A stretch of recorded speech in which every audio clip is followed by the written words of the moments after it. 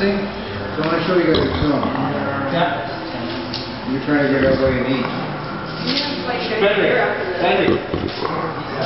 This is slowly cleaning up. Oh, whoa.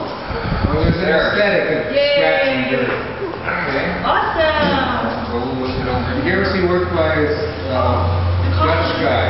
The cockroach is right He was, there. he was working in the 70s and 80s, I guess, on the lawn. and- On Splice It. I can't remember that. But he, um,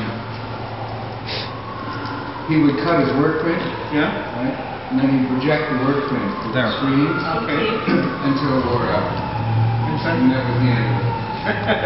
Yeah. And it was beautiful when I saw But it. it got all special. Oh, scratches all over it.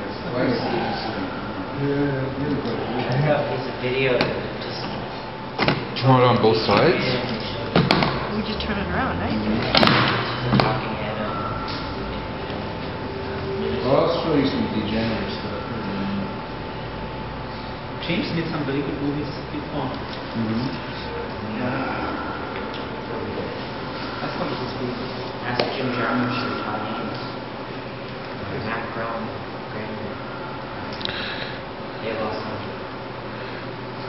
Rob Ridley? No, no, Rob, Yeah. he talking about the guy from Simpsons.